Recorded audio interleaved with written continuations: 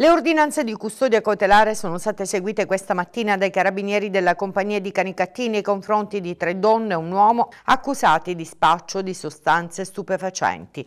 Appartenenti a due diversi nuclei familiari, tutti e quattro residenti nella stessa palazzina di Viale della Vittoria, ma in due diversi alloggi popolari, gestivano anche in competizione tra di loro una fiorente piazza di spaccio di sostanze stupefacenti, eroina, cocaina e marijuana.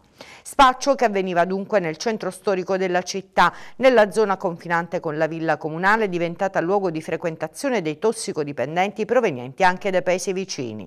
Non solo la droga, in pieno lockdown, proprio sotto casa uno degli appartenenti alle due famiglie aveva pensato bene di dedicarsi alla vendita abusiva di mascherine e generi sanitari.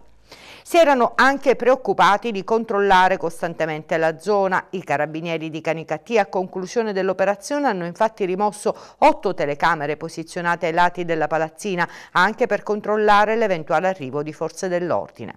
Stamattina il blitz dei carabinieri che hanno circondato l'immobile e poi fatto eruzione all'interno a conclusione di una lunga attività investigativa che ha permesso di monitorare innumerevoli episodi di cessione di stupefacenti e segnalare alla competente autorità 16 assuntori sequestrando diverse decine di grammi di eroina e cocaina.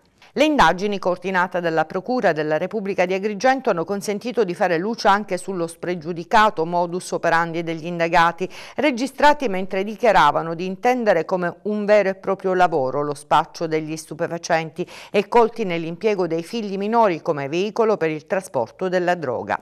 Una delle indagate era stata trovata in possesso di sette dosi di cocaina nascoste nel proprio abbigliamento intimo, mentre altre erano state occultate in quello della figlia 11 quindicenne.